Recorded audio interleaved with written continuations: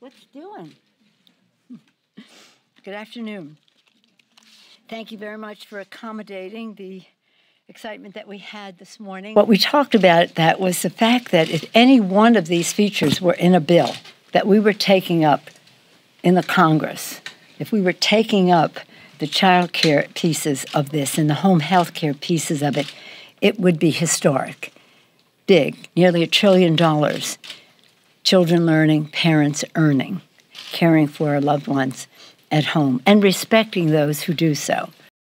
That's really the framework that the president shared with us this morning, and it's uh, it's remarkable. It's remarkable in that it's a big vision, bigger vision than we've seen in a very long time, maybe dating back to President Franklin Roosevelt and the New Deal. If we had a framework that had our priorities spelled out clearly and agreed to, that added up to a top line, start with the priorities, and then added up to a top line, which was the limit. Priorities I mentioned, the top line, 1.75 approximately, and the commitment that we would have the same bill pass the House and the Senate. That's what we have now. That's what the president presented. And we won't have anything regardless of whatever input we have in the bill, unless it is agreed to by the Senate. Well, I trust the President of the United States.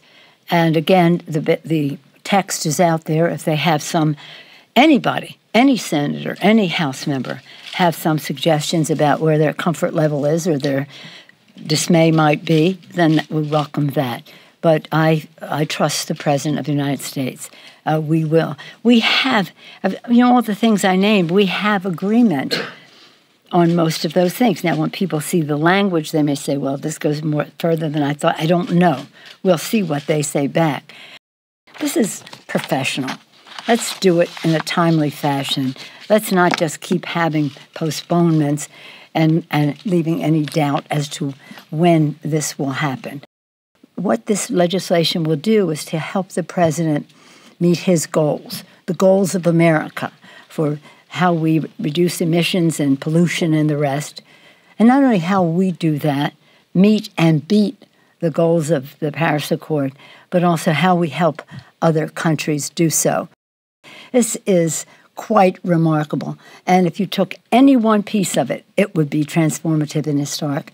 Taking together, it's quite a spectacular vision that President Biden has put forth. I salute him for it. And when I tried to, shall we say, make a case for this or that, he said, You don't have to tell me. I wrote it.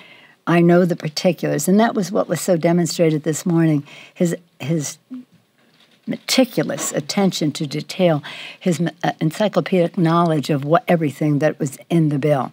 Uh, this, we're really blessed with his leadership, and when he goes uh, to these meetings with the with the, the, G20 now and then to meet His Holiness the Pope and to go to uh, Glasgow, uh, we want him to go as strong as possible.